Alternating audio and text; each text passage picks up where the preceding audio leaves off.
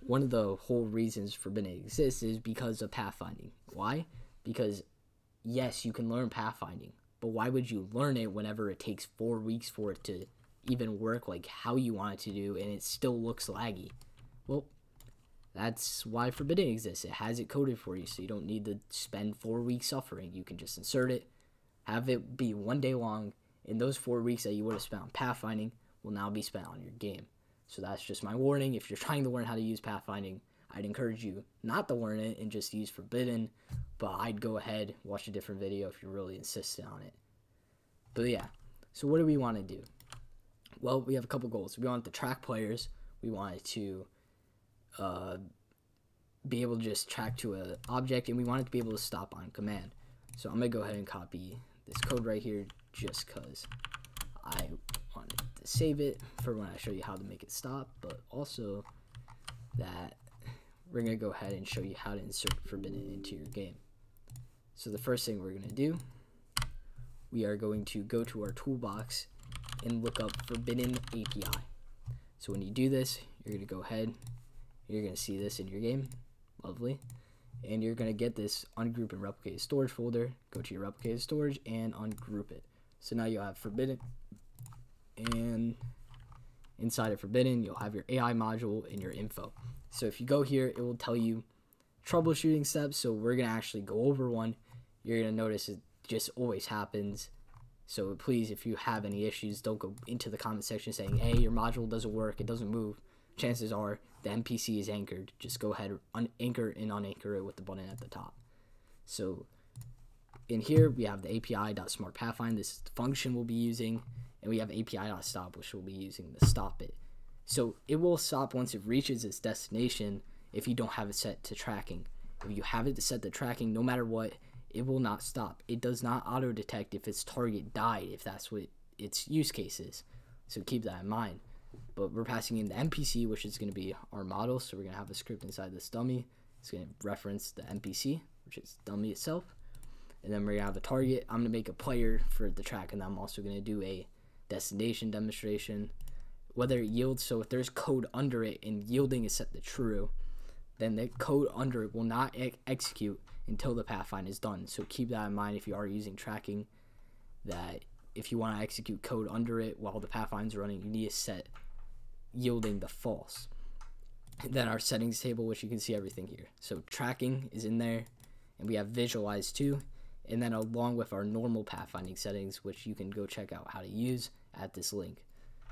So now that we've gone over that, and the API.stop is just passing in the model, so you can pass it in for any script as long as it references forbidden. So yeah, pretty cool. But now that we've done that, we're gonna go ahead and, and get a Dominator in game. If you don't know how to, you're gonna go to Avatar, Rig Builder, and insert it. So whenever you do that, go over to your home, anchor, and unanchor it. Otherwise, it will just be anchored. And inside of that, insert a script.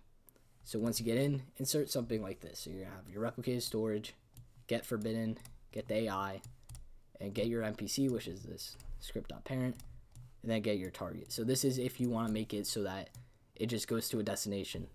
Then go ahead and insert that.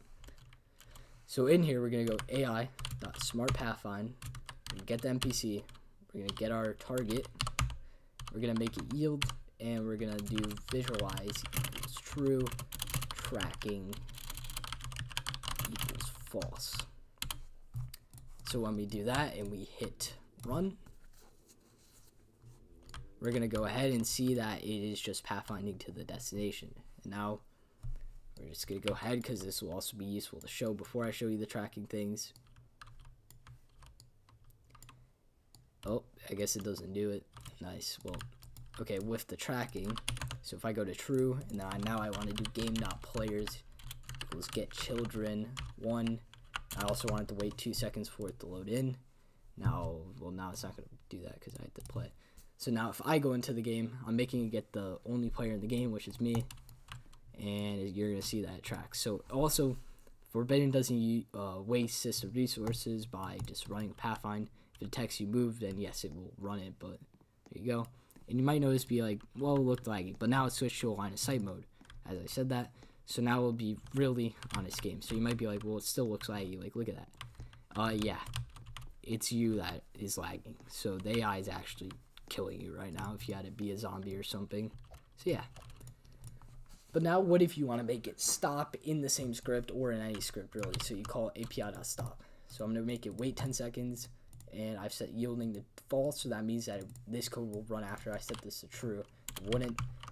And I've set tracking to true here. Or actually, let's make tracking false because I just wanted to go to the target. Yeah. Okay.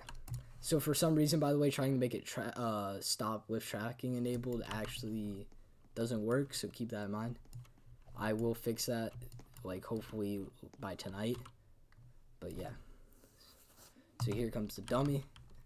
You just go into his thing, and after 10 seconds, it stopped. So you can see that. Now it's just completely stopped. And then if we wanted to, we can make it wait another two seconds and then start tracking me because it's mad at me or something. I don't know. So we're gonna come here, tracking true game, players, get children, one. Yeah. There will be a more advanced tutorial tonight if you want to make it track the nearest player. But also, if you're just interested in using this code, I encourage you leave your game in the comment section. I want to go check it out. And also that, hey, this is forbidden. Look at him, he's pissed at me. Nice. Alright, good luck.